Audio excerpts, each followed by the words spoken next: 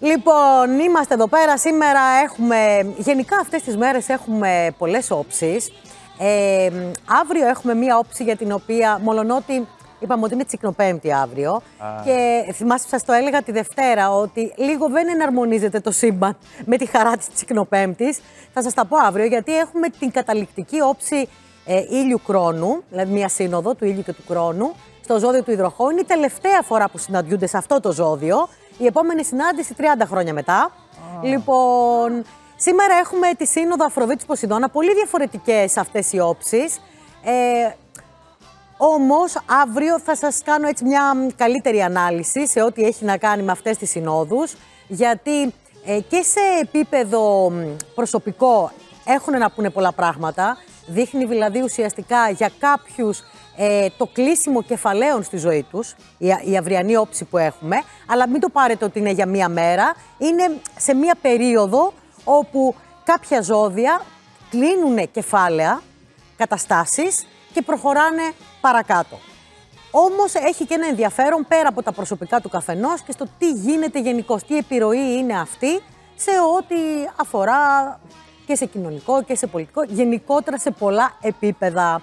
Αύριο αυτή η ανάλυση. Σήμερα θα μιλήσουμε για την όψη Αφροδίτης Ποσειδώνα, η οποία όψη αυτή, ο Ποσειδώνας έχουμε πολλές φορές, ότι είναι ένας πλανήτης που έχει να κάνει με ομίχλη, έχει να κάνει με σύγχυση, έχει να κάνει με πράγματα που δεν φαίνονται, ε, που μπορεί και να αποκαλύπτονται κάποιες στιγμές. Όταν είναι σε σύνοδο με την Αφροδίτη, Γενικώς, όταν είναι σε σύνοδο με τους προσωπικούς πλανήτες, δημιουργεί αυτό το πράγμα ομιχλώβει λίγο συνθήκες, αλλά και μία τάση να είμαστε λίγο ε, ονειροπόλοι, το μυαλό μας να είναι κάπου αλλού.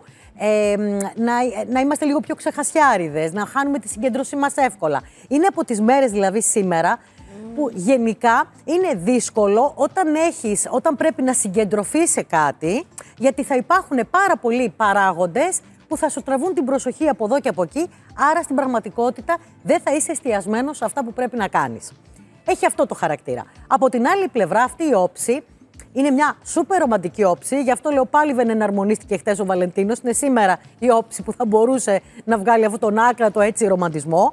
Έχει να κάνει επίσης ε, με αυτό που λέμε μεγάλες προσδοκίες και εξειδανικεύσεις. Θέλει προσοχή αυτή η όψη, γιατί πολλές φορές μπορεί να μεγεθύνουμε στο μυαλό μας ε, πράγματα τα οποία ε, είτε είναι κάτι καλό, είτε είναι κάτι αρνητικό. Ε, είναι αυτό που λέμε: Παίρνω την τρίχα, την κάνω τριχιά το μεγαλώνουμε στο μυαλό μας. Έτσι, άρα είτε ωρεοποιούμε μια κατάσταση ή από την άλλη πλευρά τη βλέπουμε σούπερ αρνητικά και μπορεί να μας ε, παίρνει από κάτω και να μελαγχολούμε. Γι' αυτό λοιπόν πάντα αυτό που λέω είναι καλό είναι όταν ε, είμαστε σε αυτήν την κατάσταση να μην παίρνουμε πολύ σημαντικές αποφάσεις με βάση το συνέστημά μας εκείνη τη στιγμή να τις παίρνουμε περισσότερο με τη λογική μας. Η αυριανή όψη έχει πιο πολύ λογική.